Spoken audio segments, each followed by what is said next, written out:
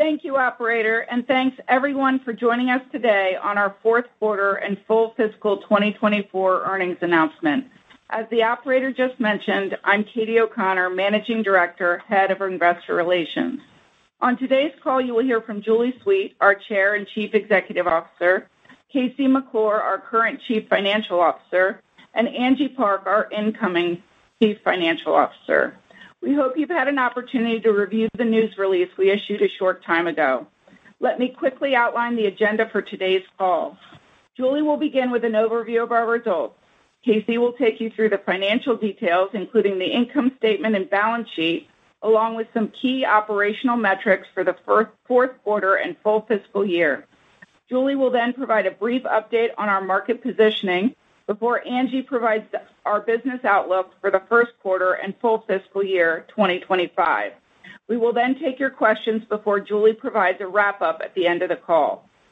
Some of the matters we'll discuss on this call, including our business outlook, are forward-looking and as such, are subject to known and unknown risks and uncertainties, including, but not limited to, those factors set forth in today's news release and as discussed in our annual report on Form 10-K and quarterly reports on Form 10-Q and other SEC filings. These risks and uncertainties could cause actual results to differ materially from those expressed in this call. During our call today, we will reference certain non-GAAP financial measures, which we believe provide useful information for investors. We include reconciliations of non-GAAP financial measures, where appropriate, to GAAP in our news release or in the investor relations section of our website at accenture.com. As always, Accenture assumes no obligation to update the information presented on this conference call. Now, let me turn the call over to Julie. Thank you, Katie, and everyone joining. And thank you to our 774,000 people around the world who have worked every day to be at the center of our clients' business and deliver 360-degree value for all our stakeholders. Our performance this year clearly demonstrates the resilience and agility of our business model, the power of our scale, and reinvention in action. FY 2024 was marked by a challenging market environment, and we have rapidly shifted to where our clients are buying large reinventions that utilize the scale of Accenture's expertise and ecosystem relationships. And we have yet again put reinvention into action at Accenture with our significant investment and early leadership in what we believe will be the most transformative technology of the next decade, GenAI. As a result, over the last four quarters, we have successfully positioned Accenture for strong growth in FY 2025. When market conditions improve, we will be well-positioned to capitalize them. In FY 2024, we continue to deliver on our enduring shareholder value proposition to grow faster than the market and take share, deliver earnings growth and margin expansion, while investing at scale with strong free cash flow, disciplined capital allocation, and significant cash return to shareholders. Turning to our results and the foundation for growth we have built for FY 2025. With our clients prioritizing large-scale transformations, we doubled down on our strategy to be the reinvention partner of our clients. Our success is reflected in our full fiscal year bookings of $81 billion, representing 14% growth in local currency, including 33 clients with quarterly bookings greater than $100 million in the fourth quarter, bringing the total of such bookings to 125 for the year, 19 more than last year. We are proud to now have 310 Diamond clients, our largest client relationships, an increase of 10 from last year, expanding our base of deep client relationships and the vantage point we have on the market. We delivered revenues of $65 billion for the year, representing 2% growth in local currency, while continuing to take market share on a rolling four-quarter basis against our basket of our closest global publicly traded competitors, which is how we calculate market share. We expanded adjusted operating margin by 10 basis points and delivered adjusted EPS growth of 2%, while continuing to significantly invest in our business and our people with $6.6 billion in strategic acquisitions, $1.2 billion in R&D, and $1.1 billion in learning and development. We generated free cash flow of $8.6 billion, allowing us to return $7.8 billion of cash to shareholders. We completed the business optimization actions we announced in March 2023 to reduce structural costs. For the full fiscal year, we had $3 billion in new GenAI bookings, including $1 billion in Q4. For the full fiscal year, we had nearly $900 million in revenue. The magnitude of this achievement is seen in the comparison to FY 2023, where we had approximately $300 million in sales and roughly $100 million in revenue from GenAI. This was an area where our clients continued to buy small deals, and we focused on accelerating our growth here. We have continued to steadily increase our data and AI workforce, reaching approximately 57,000 practitioners against our goal of 80,000 by the end of FY 2026. We invested in our people to continue to develop their marketable skills and to help us reinvent our services using GenAI. Our people had approximately 44 million training hours this year, representing an increase of 10%, predominantly due to GenAI training.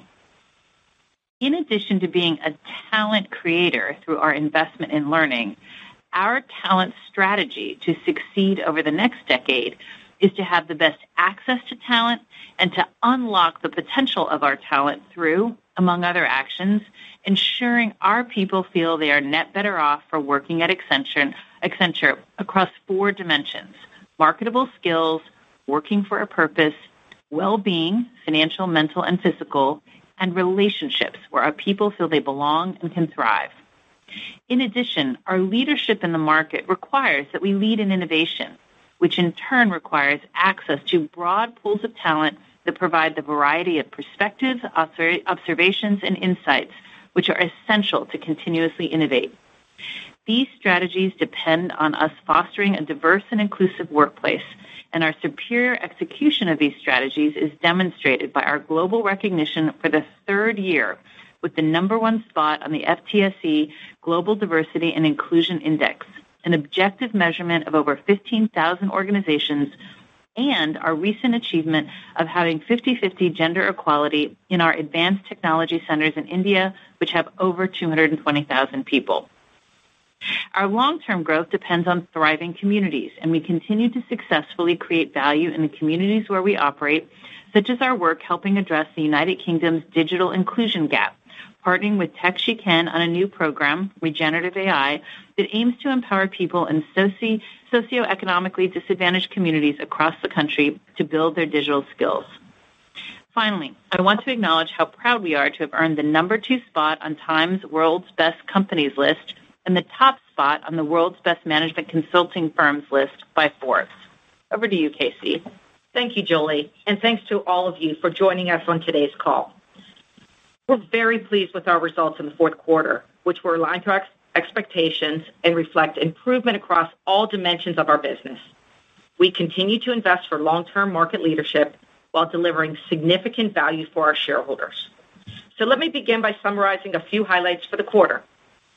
Revenue grew 5% in local currency, driven by mid-single-digit growth or higher in seven of our 13 industries, including public service, industrial, software and platforms, health, high tech, energy, and life sciences. We had growth in all three markets, all three services, as well as return to growth in consulting type of work for the first time in six quarters. Organic revenue improved as well to slightly positive growth, and we continue to take market share. Adjusted operating margin was 15%, an increase of 10 basis points over Q4 last year. We continue to drive margin expansion while making significant investments in our business and our people. We delivered adjusted EPS of $2.79, which represents 3% growth compared to adjusted EPS last year. And finally, we delivered free cash flow of 3.2 billion and returned 1.4 billion to shareholders through repurchases and dividends. With those high-level comments, let me turn to some of the details. New bookings were 20.1 billion for the quarter, representing 21% growth in US dollars and 24% growth in local currency, with an overall book-to-bill of 1.2. Consulting bookings were 8.6 billion, with a book-to-bill of 1. Managed services were 11.6 billion, with a book-to-bill of 1.4. Turning now to revenues. Revenues for the quarter were 16.4 billion, above the midpoint of our guided range, reflecting a 3% increase in US dollars and 5% in local currency. Consulting revenues for the quarter were 8.3 billion, up 1% in U.S. dollars and 3% in local currency. Managed services revenue were 8.1 billion, up 5% in U.S. dollars and 7% in local currency. Taking a closer look at our service dimensions, technology services and strategy and consulting both grew mid-single digits, and operations grew low single digits. Turning to our geographic markets. In North America, revenue grew 6% in local currency, driven by growth in public service and industrial. In EMEA, revenue grew 2% local currency, led by growth in public service and life sciences, partially offset by a decline in banking and capital markets. Revenue growth was driven by Italy and the United Kingdom, partially offset by a decline in France. In growth markets, revenue grew 9% local currency, led by growth in banking and capital markets, software and platforms, and industrial. Revenue growth was driven by Argentina and Japan. Moving down the income statement. Gross margin for the quarter was 32.5%, compared with 32.4% for the same period last year. Sales and marketing expense for the quarter was 10.7%, compared with 10.8% for the fourth quarter last year. General and administrative expenses were 6.8%, compared to 6.7% for the same quarter last year. Before I continue, I want to note that results in Q4 of FY 2024 and FY 2023 include costs associated with business optimization actions, which impacted operating margin and EPS. The following comparisons exclude these impacts and reflect adjusted results. Adjusted operating income was 2.5 billion in the fourth quarter, reflecting a 15% adjusted operating margin, up 10 basis points compared with Q4 last year. Our adjusted effective tax rate for the quarter was 26.2%, compared with an adjusted effective tax rate of 27.4% for the fourth quarter last year. Adjusted diluted earnings per share were $2.79, compared with adjusted EPS of $2.71 in the fourth quarter last year. Days service outstanding were 46 days, compared to 43 days last quarter and 42 days in the fourth quarter of last year. Free cash flow for the quarter was 3.2 billion, resulting from cash generated by operating activities of 3.4 billion, net of property and equipment additions of 214 million. Our cash balance at August 31st was 5 billion, compared with 9 billion at August 31st last year. With regards to our ongoing objective to return cash to shareholders, in the fourth quarter, we repurchased or redeemed 2.1 million shares for $628 million at an average price of $303.07 per share. Also in August, we paid our fourth quarterly cash dividend of $1.29 per share, for a total of $808 million. And our board of directors declared a quarterly cash dividend of $1.48 per share to be paid on November 15th, a 15% increase over last year, and approved $4 billion of additional share repurchase authority. Now I'd like to take a moment to summarize the year. Our fiscal 2024 results illustrate the diversity and durability of our business, as well as our ability to continue to manage our business with rigor and discipline. We delivered record bookings of 81.2 billion, reflecting 13% growth in U.S. dollars and 14% growth in local currency, with a record 125 quarterly client bookings over 100 million, which positions us well as we begin FY 2025. Revenue of 64.9 billion for the year reflects growth of 2% local currency. Before I continue, I want to note that results for the full fiscal year 2024 and fiscal 2023 include costs associated with business optimization actions, and fiscal 2023 results also reflect a gain on investment in Duck Creek Technologies, which impacted operating margin, our tax rate, and EPS. The following comparisons exclude these impacts and reflect adjusted results. Adjusted operating margin of 15.5%, a 10 basis point expansion over FY 2023. Adjusted earnings per share were $11.95, reflecting a 2% growth over adjusted FY 2023 EPS.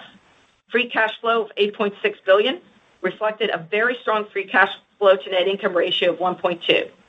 And With regards to our ongoing objective to return cash to shareholders, we returned 7.8 billion of cash to shareholders while investing approximately $6.6 billion across 46 acquisitions.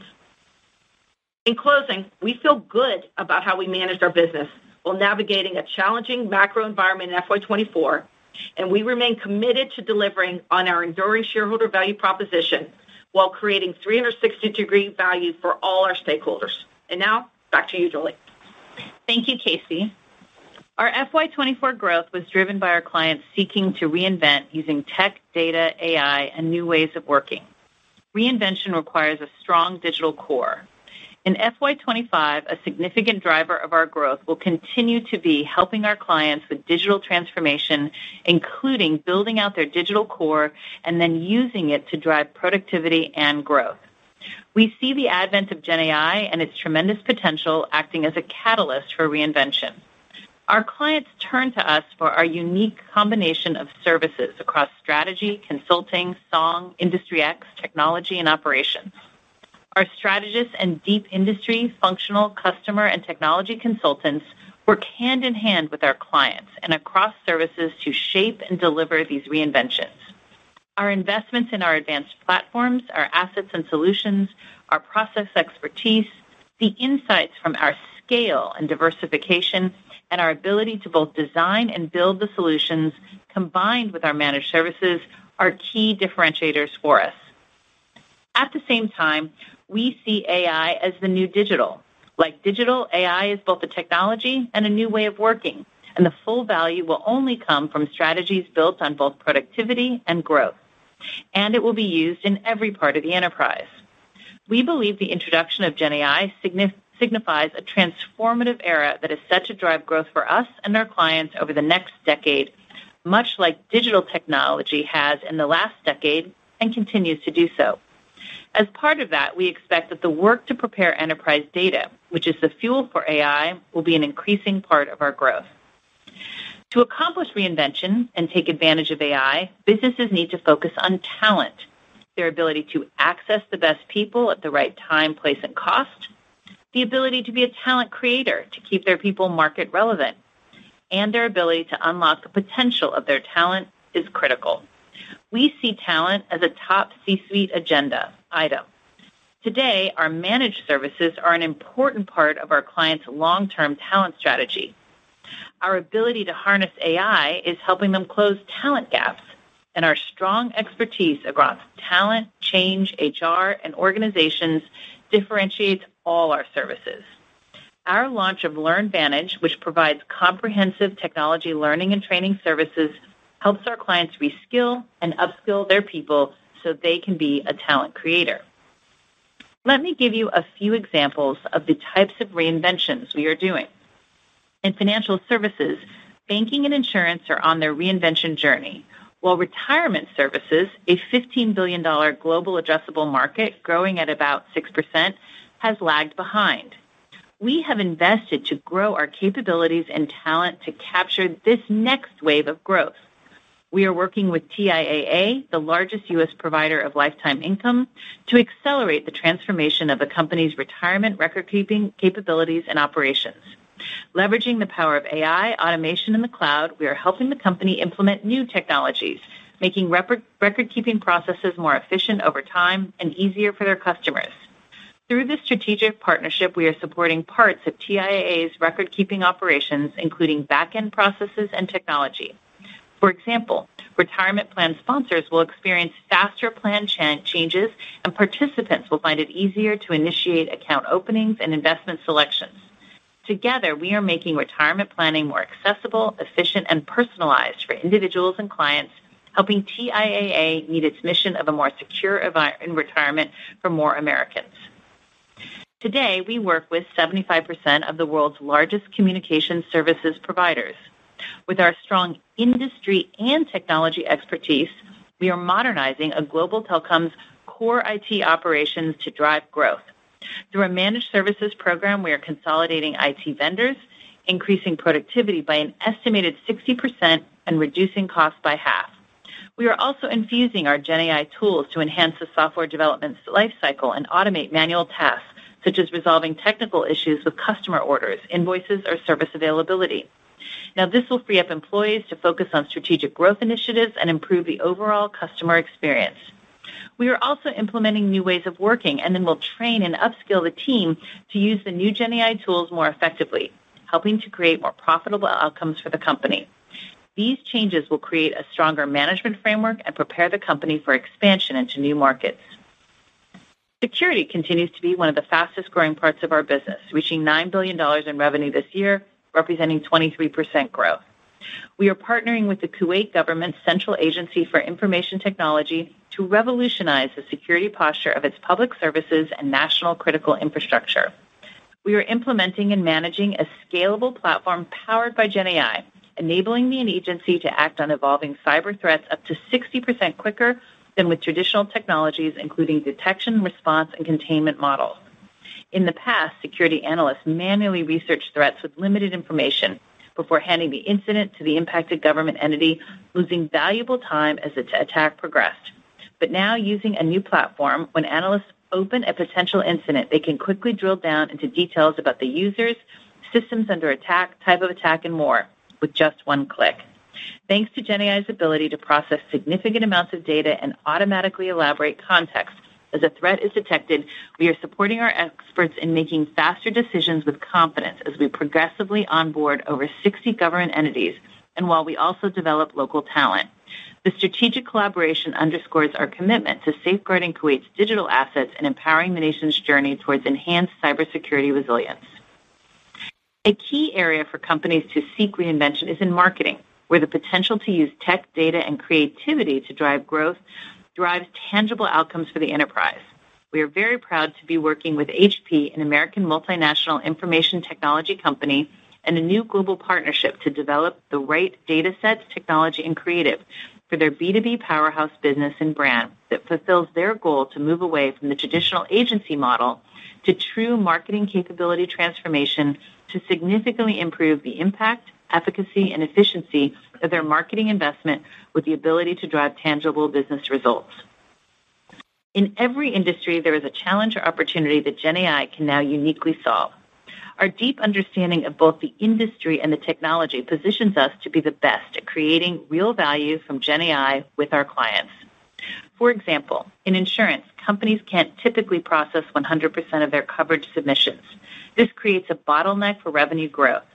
The ability to leverage GenAI to read 100% of submissions allows insurance companies to better assess risk as well as quote and write more policies, and do it all more quickly and cost-effectively.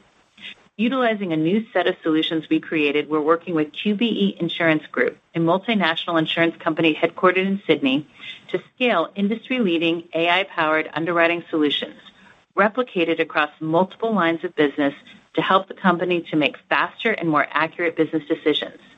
A series of board, executive level, and all employee learning sessions were conducted to help drive the design and build of solutions that analyze new business submissions for completeness, appetite check, and risk evaluation insights.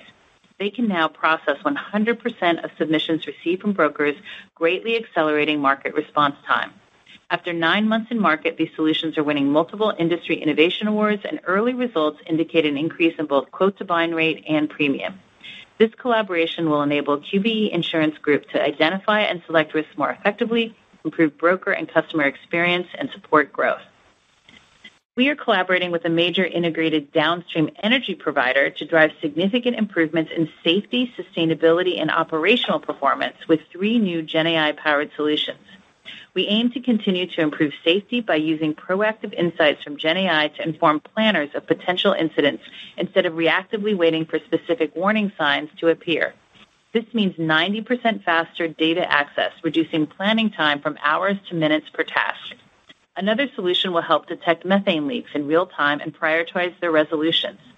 We also helped build a smart solution for operators and process engineers to drive custom insights to optimize refinery performance and reduce downtime. The energy provider is on a path to set a new industry standard for innovation and refinery operations. One of the most powerful, impactful uses of GenAI today across industry is in consumer experience transformation. We are working with Mondelēz International, a world leader in snacking, with well-known brands like Oreo, Belvita, and Cadbury, transform their marketing organization with GenAI to help drive consumer behavior. As part of this program, we're standing up a refreshed operating model with a primary focus on upskilling their employees in GenAI technologies. We are also helping enable a new capability to scale content creation and generate personalized text, images, and videos across markets. This means exceptional creative can be developed in hours, not weeks, allowing content to be catered to consumers quickly as demands change. The strong digital core we established also allows the company to collect and process real-time data using GenAI to create new contextualized insights that can be easily accessed, shared, and used by decision makers across the company. This work will increase the effectiveness and efficiency of messaging to create more impactful experiences. Now let's turn to our acquisitions. Over the last decade, we have built a finely tuned acquisition capability, becoming known in the market as a good home, with approximately 70% on average of our acquisitions sole sourced. While our ability to identify and evaluate our acquisitions is critical, it is our ability to integrate them successfully that has made our acquisition capabilities so formidable. As we look forward, we are excited about the opportunity to better serve our clients and differentiate in the market through the acquisitions we've made this last fiscal year. As a reminder, we do acquisitions ultimately to drive our organic growth. Our global footprint, deep client relationships across industries, as well as strong ecosystem, gives us a unique perspective on growth opportunities. We use acquisitions to scale quickly in growth areas, to build new skills in adjacent markets, and to deepen our technology, industry, and functional expertise. Over the years, acquisitions have built major areas of growth, like what we call Song today and our security practice. Here are a few examples of where we are investing now to lead in the next waves of growth. Starting with capital projects, an over $440 billion addressable global market growing approximately 5%. In FY 2022, globally, we had approximately $300 million in capital projects revenue.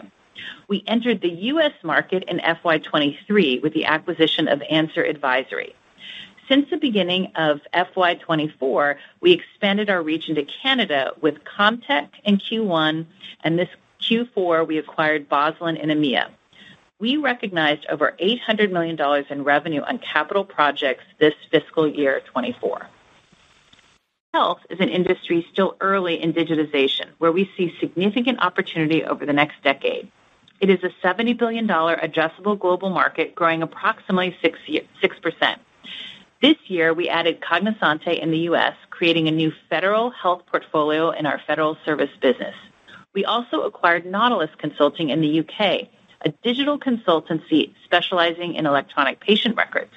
And we announced our intent to acquire Consus Health, a healthcare consultancy in Germany that offers services ranging from medical strategy and patient management to procurement and logistics, infrastructure management, and construction planning services.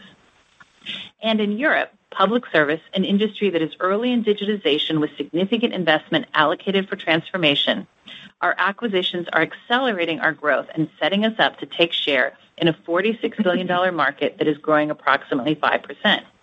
We acquired Arns, ARIS in Germany, a technology services provider supporting the public sector transformation across Europe. In Italy, we acquired Intellera Consulting, one of Italy's main professional services providers operating in the public administration and healthcare sectors, and Customer Management IT and Serfin PA, jointly owned consultancies supporting the public sector and specializing in justice and public safety. Now, it gives me great pleasure to hand over to Angie Park, who will become our new CFO on December 1st, who will take us through our guidance for FY 2025. Angie. Thanks, Julie. Now let me turn to our business outlook. For the first quarter of fiscal 25, we expect revenues to be in the range of $16.85 billion-$17.45 billion. This assumes the impact of FX will be approximately positive 1.5% compared to the first quarter of fiscal 2024 and reflects an estimated 2%-6% growth in local currency. For the full fiscal 2025, based upon how the rates have been trending over the last few weeks, we currently assume the impact of FX on our results in U.S. dollars will be approximately positive 1.5% compared to fiscal 2024. For the full fiscal 2025, we expect our revenue to be in the range of 3%-6% growth in local currency over fiscal 2024, which includes an inorganic contribution of a bit more than 3%. And we expect to invest about 3 billion in acquisitions this fiscal year. For operating margin, we expect fiscal year 2025 to be 15.6%-15.8%, a 10-30 basis point expansion over adjusted fiscal 2024 results. We expect our annual effective tax rate to be in the range of 22.5%-24.5%. This compares to an adjusted adjusted effective tax rate of 23.6% in fiscal 24. We expect our full-year diluted earnings per share for fiscal 25 to be in the range of $12.55 to $12.91 or 5%-8% growth over adjusted fiscal 24 results.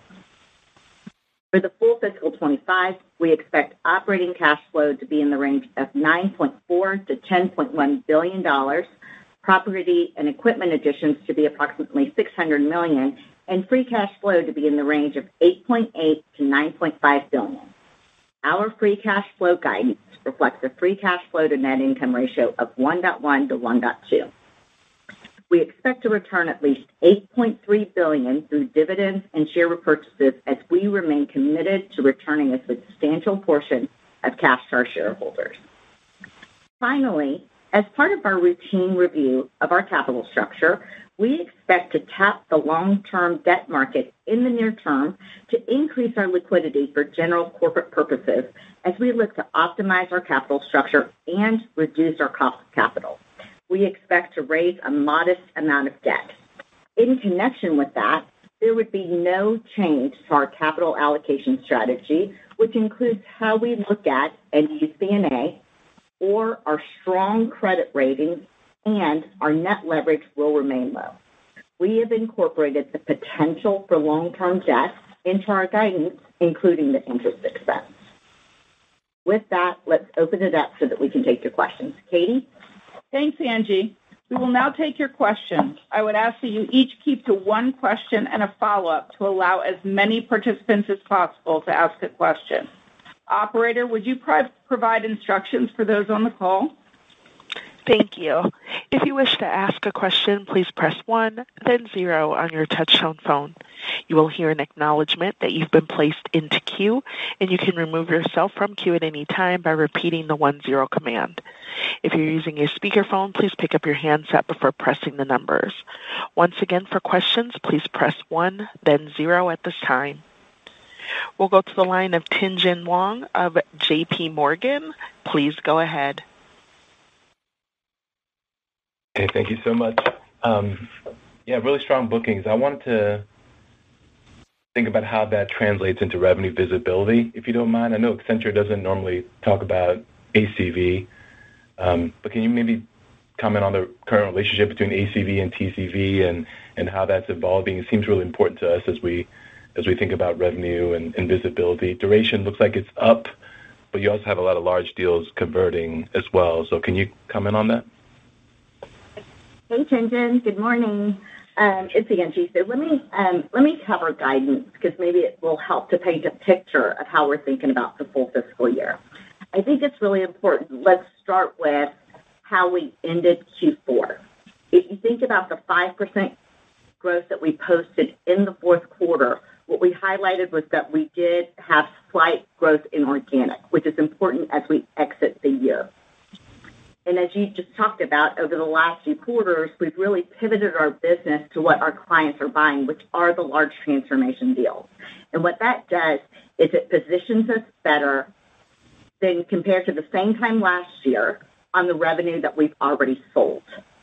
From an inorganic contribution, I do want to highlight that the overall, we expect a bit over 3% for the year, um, which would imply with our guidance of 3 to 6 percent that on the bottom end of the range, organic is flat, and then at the top end of the range, we're growing 3% in organic growth.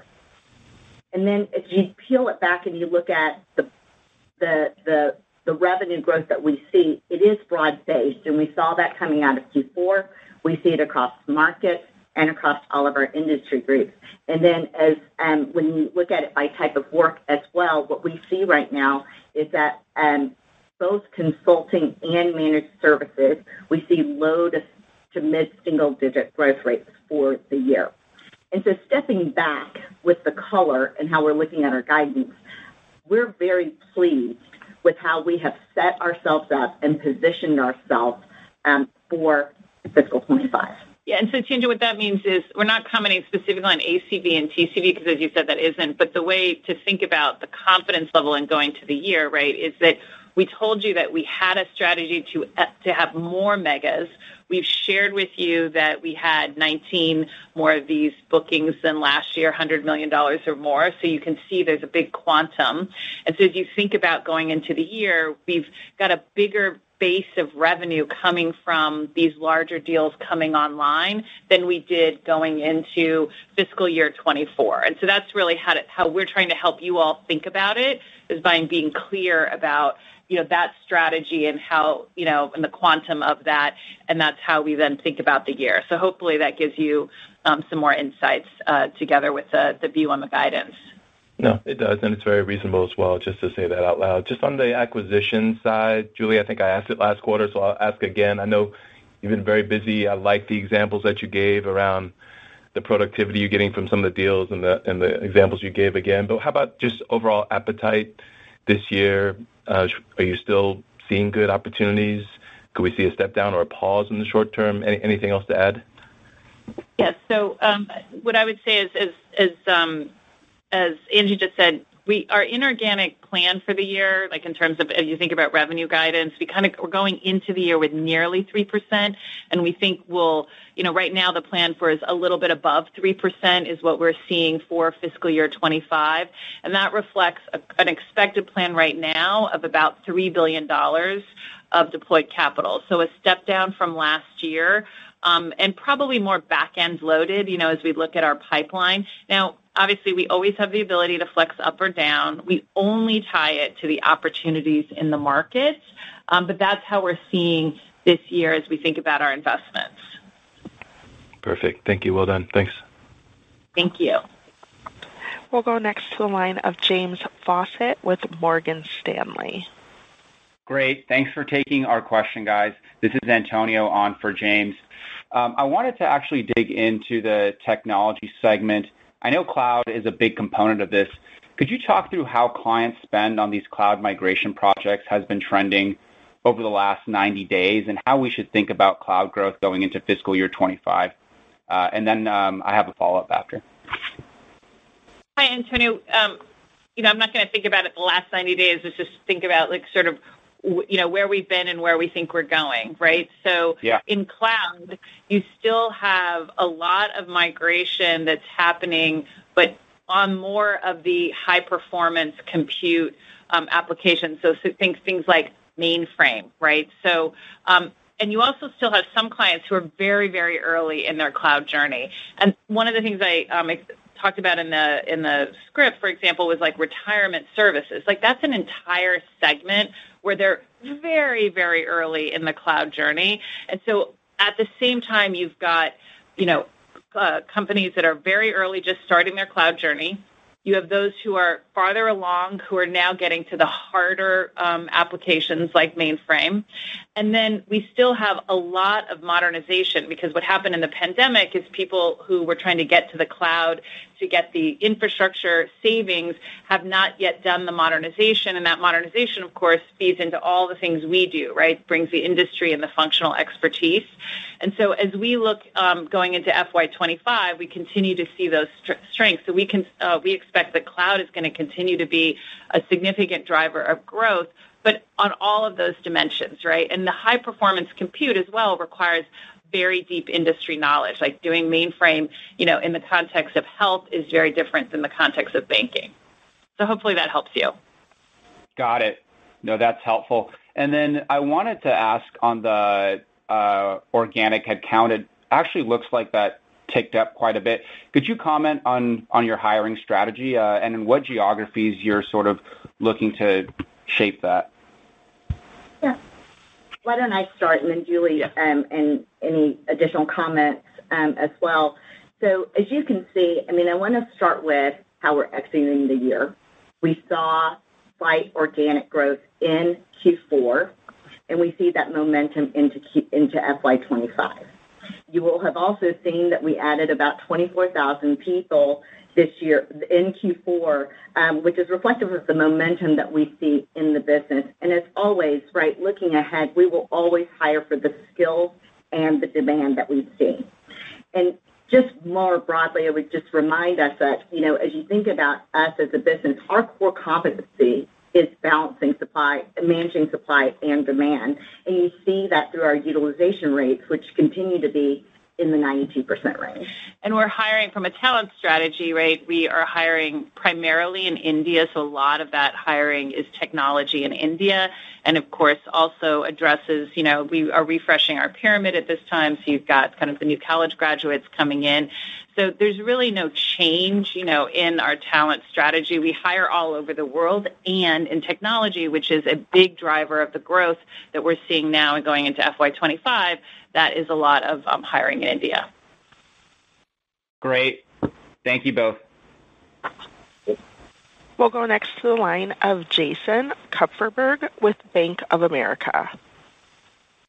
Good morning, guys. Uh, thanks. I wanted to pick up on the commentary about the consulting outlook for fiscal 25. You said up low to mid-single digits. I think that's very consistent with the exit rate of 3% coming out of uh, fiscal 24. So does that imply that you are not building much of a discretionary spending recovery into this initial F25 guide? Yeah. Hey, Jason. Good morning. How are you? And let me just give you a little bit of color on that um, as you think about the types of work and the question that you just asked. If you think about our range overall, so we're at 3 to 6 percent uh, for the full year. And what this assumes is at the top end, we see more of the same, right, in terms of the discretionary spending environment. while at the bottom end, it allows for further deterioration in the discretionary spend environment over what we experienced in FY24. Okay, that's very helpful. And then um, maybe one for Julie. I just wanted to get your broad take on the macro backdrop. I mean, I guess what are decision makers telling you right now versus three months ago? What are they waiting to see to uh, open the discretionary budgets a little bit more? Yes. Well, the environment is really more of the same, and, and you know that environment has been kind of a cautious environment. You know, right now they're going into budget season, so as always, we'll really see in January and on February. But there hasn't been much of a change, right? The macro is kind of the same. Obviously, there's some events going to come up in the fall that you know people are thinking about, but uh, but there's not like a big tone change, right? And I think because if you look at the macroeconomic environment, FY25, you know, it's going to click down, you know, in the U.S., maybe a little bit better in Europe, but overall, not a lot of improvement. So we're not hearing, I'm not hearing from CEOs, and I'm talking to them almost every day, some big like, hey, now we're ready to go spend more, right, um, in discretionary spending. So it's really uh, just more of the same. And, by the way, uh, one of the changes that we made this last fiscal year 24 was normally we do for decades, um, our big promotion period was in December and then a small one in June. And so in fiscal year 24, we switched these right? We said we have a lot more visibility in our business in January or February because that's where budgets are set. So we did that this past year and had a really big promotion, a very nice promotion. I would say not really big, but a very nice promotion in this past June. We've now permanently shifted that promotion cycle. So we will do our big promotion cycle in June and our smaller one in December to better match when our clients are setting their budgets and we have better visibility. And, you know, that's what we're seeing again. You know, the justification for that is clear that we're really no IT spending and spending on our services in, uh, in, in the budgets in January, February. Thanks for all the color. Thanks. We'll go next to the line of Keith Bachman with BMO. Hi, good morning. Thank you very much. I wanted to revisit on M&A if I could, and uh, just get some clarification. In in FY24, you spent, as you noted, 6.6 billion, which was up about 160% year-over-year. And if we sort of do the math on what what your normalized um, multiples are to revenue, it looks like you're starting the year of FY25 with three points of M&A help. And, so I just want to understand, is that the right way to think about it? And then, Julie, you had indicated that you plan to spend 3 billion more in M&A this year, and it will be, as you said, back-end weighted. But I'm just struggling why M&A, if that 3 billion number is even second half weighted, why M&A isn't, you know, 4% or more for the year? Um, Hey, Keith, let me just start with peeling back in our inorganic contribution a bit. As we look at the deals that we closed in 2024, it's nearly 3% contribution, right? And so with the back-end loaded approach in our capital deployed, we do see a bit over 3, and that's just the math. Yeah, it's just timing, right? It's not quite 3% coming in because a lot of this closed at the end of Q4, right? And so it's just timing, right? And it's the way we see our pipeline developing, right? Because we have we have a view of what we think we're going to spend in Q1 and Q2 and how that rolls in. Okay. Um, let me transition the bookings then. As you think about um, FY25, and I know you don't guide the bookings, it's more of an output, but any puts and takes um, that you want us to think about in terms of the book-to-bill ratio Uh, in FY25 that that might be higher or lower, any any kind of cadence there? And if you don't mind, was there an M&A help in the August quarter bookings as well, or signings, excuse me? Why don't I start? Um, in terms of um, the way to think about our bookings, you know, we were super pleased with the $81 billion of bookings that we had uh, for the year, which was 14% growth, Um, which included the 125 quarterly client bookings over $100 million. Um, and so I think that that we were super pleased with, and you saw that in our book-to-bill and our growth rates in managed services, which is driven by our large transformation deals. For us, you know, over time, over four uh, trailing quarters, we're always looking for our consulting book-to-bill to be a 1.0 or better, and for our managed services to be 1.2 or better, and that and nothing has changed there. Yeah. And there was nothing in perfect. Nothing in M&A uh, about our bookings uh, in Q4. Yeah. So. Okay. Many thanks. Thanks. We'll go next to the line of Brian Keane with Deutsche Bank. Morning. Um, Julie, just want to ask about GenAI. I think bookings were up almost about $300 million in the third quarter sequentially, up about 100 million this quarter. Anything about the cadence there of GenAI and follow-through there that you can uh, help us understand? Sure. Um, so yeah, so we ended with 3 billion bookings for the year, and we'd expect in FY25 another healthy increase. I mean, there is clear demand. We're starting to see uh, more of our clients move from proofs of concept to you know sort of larger implementations, which is important. So you know the size of those bookings is kind of is clicking up. Um, and also, we're continuing to see kind of at least every other one has got data pull-through, and even that's kind of moving up. So you know we're kind of going into the year, we'd see we'd expect you know, another healthy increase um, in our bookings and our revenue from that, and also that data will continue to kind of be a bigger and bigger part of that building out of the digital core. Uh, because you know, one of the biggest limitations on using GenAI today and why it's going to take a while is um, our client you know, needs it needs data, and um, you know, our clients have a lot of work to do on data, which is, of course, a big opportunity for us. Got it. Got it. And then just a clarification on the guide. I know the fourth quarter organic growth was positive, and we're talking about fiscal year 2025 revenue guide of 3%-6% on a constant currency basis. And if you back out the acquisitions, I think you guys said on the low end, we're talking about flat organic growth. That would be a slight step down from the fourth quarter, which is would be a little surprising given some of the momentum that you guys are seeing in bookings and in headcount growth. So just wanted to make sure I understood what that low end might imply and why would there necessarily be a step down from where the fourth quarter kind of ended. Thank you. Uh, yeah. No, and the way the way we're thinking about it, right, we're going into the year with momentum. We've had executed on the strategy around the bigger deals, so we have a stronger base of revenue. We've got the acquisitions.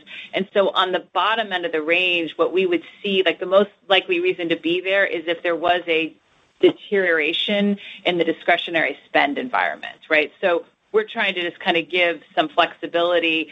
You know, we're not seeing that, right? We saw more of the same this quarter. And so as we kind of go into the year, at the top end of the range, it's the current environment going forward.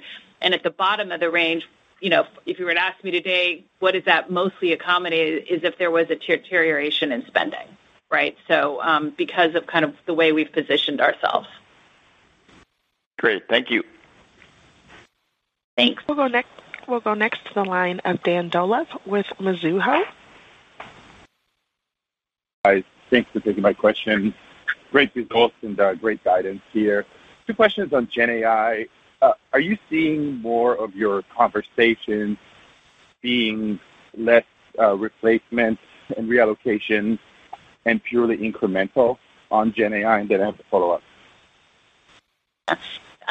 Well, I think it starts with we're not seeing a change in what our clients are spending on IT, right?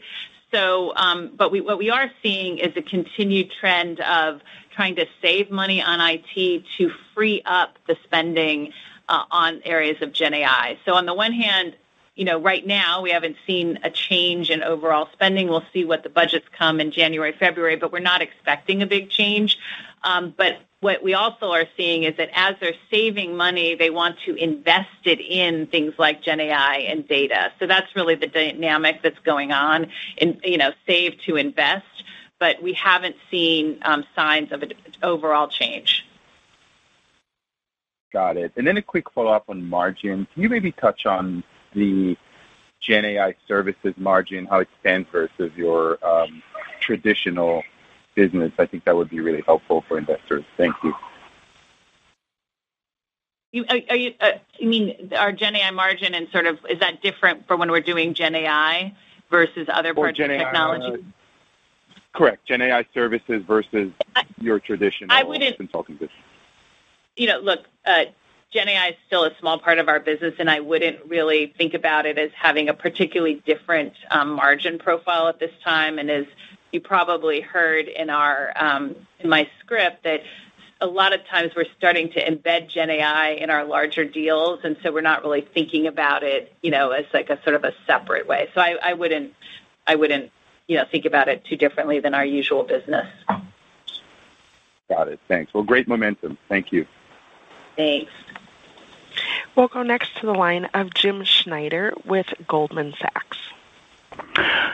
Good morning. Thanks for taking my question. Um, very helpful commentary on the uh, client uh, outlook on limited discretionary spend. But can you maybe help us understand or unpack uh, when you talk to them, what are they looking for to release discretionary spend? Is it more macro factors, whether that be relates rates, election or regulatory? Or is it more micro factors tied to their IT budgets? And if it's the latter, you know, what are the things they're looking for in terms of getting increased clarity on those priorities going into 2025?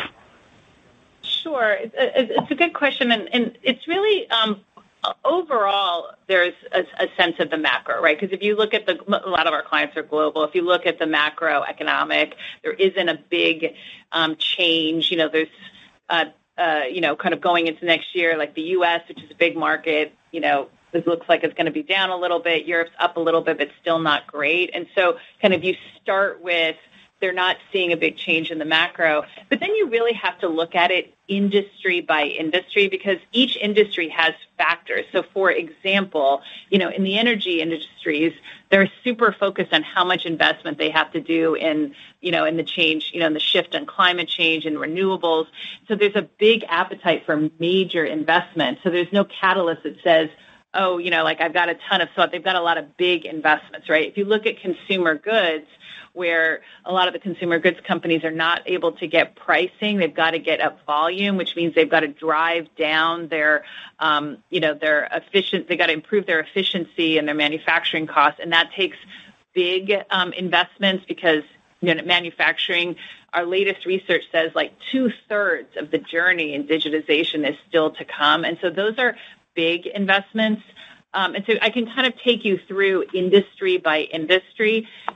You know, the reality is, and it's obviously good growth for us, is the digitization journey is still very early in many, many industries. That's like public service is another great example. So they've got big transformations going. And at the end of the day, if you're a big enterprise, like the deals, you know, that are smaller, right, they do not move the needle. And when you've got big investments, that's where they're focused because they see now the potential of things like Gen AI and everyone's like, "We got to get going." That's really what's driving it. So that's why, um, you know, we're not having a bunch of discussions about like, "Hey, can't wait to unlock that spending." Our discussions are entirely on help us move faster with our bigger transformations. That's really what we're focused on. That's very helpful. Thanks. And maybe as a follow-on, you referenced several verticals there. Um, can you maybe, as you prospectively look into fiscal 25, call out maybe one or two verticals where you expect the most improvement and maybe one or two where you see potential risk of deterioration? Thank you. Yeah. Hey, Jim. Um, Nice to talk to you. I think that you know, as we look across um, FY25 um, in our overall guide of 3%-6%, we see broad-based growth across. It's really broad-based across all of our industries as well as our services and markets. Great. Thank you. Operator, we have time for one more question, and then we'll wrap up the call. Thank you. And that will come from Bryan Bergin with TD Cowen. Hi. Good morning. Thank you. On GenAI, can you give us a sense of the size that some of these largest individual programs have reached? And then as it relates to internal productivity progress, maybe comment on any of the service lines where you're seeing the earliest impacts as it relates to productivity or any metrics that you can share in more advanced programs. Sure. Um, you know, I don't want to start giving tons of data on this, but like you you know, you went from deals that were in GenAI that were, you know, on average, kind of sub-$1 million, right, that you've now got some that are you know, above 10 million, right? So you know, that's still the smaller ends because you're sort of moving into um, you know, production and scale, but you're starting to see these things move from from POCs to larger bookings. And then with respect to internal productivity, um, and our guidance, of course, Uh, takes into account what we're seeing, You know, as I've been talking about, uh, is that the first area that we anticipate remember, we're trying to embrace Gen AI fastest because we think it's a big differentiator with our clients. And so in our managed services is where we're seeing um, the most because that's where we have plant platforms. So you'll all remember we used to talk about myWizard. Now we talk about GenWizard, right? Um, but what we're seeing is that the technology and the uh, productivity is like similar ways before. So if you go back to 2015, 2016 when we first um, uh, introduced uh, myWizard, right, so it's not really different than the kinds of productivity that we've been experiencing. And here, of course, there's an added wrinkle in that Gen AI, in order for us to use it with our clients, they have to allow us to use it, and they have to prioritize. And they have a lot of other areas where they want to use Gen AI that's not necessarily in their technology productivity where they're already many of our clients you know are using our platforms, they're using AI, etc. So you know, there's a lot of factors that kind of go into the pace of how quickly we can use it, even if we're ready to use it you know, um, uh, you know, now in many places. So hopefully that's helpful because it is a little bit different in that sense of, you know, because our clients have to prioritize where they want to use GenAI too. Okay. Okay. That's helpful. Thank you. And then I appreciate your commentary on the capital returns and the balance sheet and understanding this has overall been a tougher environment while M&A outlay has been on the upper end. But just just curious how we should be thinking about the potential magnitude of leverage in the model going forward. Just any guardrails we should consider? Yeah. Um, a couple things that I would say around that. You know, we uh, indicated that it's going to be modest. We'll maintain our strong um, credit ratings, and net leverage will be low. Um, and so in included in our guidance that we provided to you, we have also allowed for the potential um, for the interest expense and in our overall guidance, which is in addition to the variability that we may see in operating margin throughout the year. Okay. Thank you. Great. Great. Well, thank you, everyone, for joining us. Before I wrap up, I want to thank KC, who's been an amazing partner and friend these last five years. Uh, they've been quite some five years, as we all know.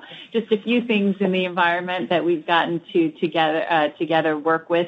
And so I'm really excited for KC and her next chapter.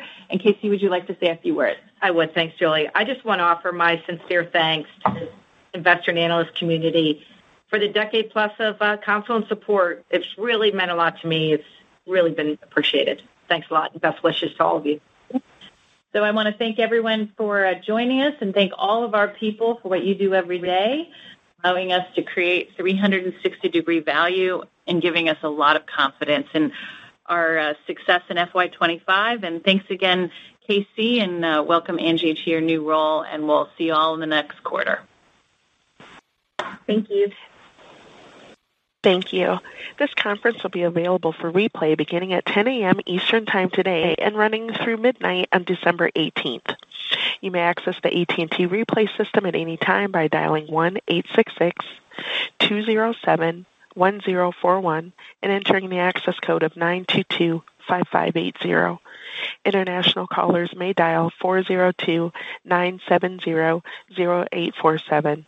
Those numbers again are 1-866-207-1041 or 402-970-0847 with the access code of 922-5580. That does conclude our conference for today. Thank you for your participation and for using AT&T Event Conferencing. You may now disconnect.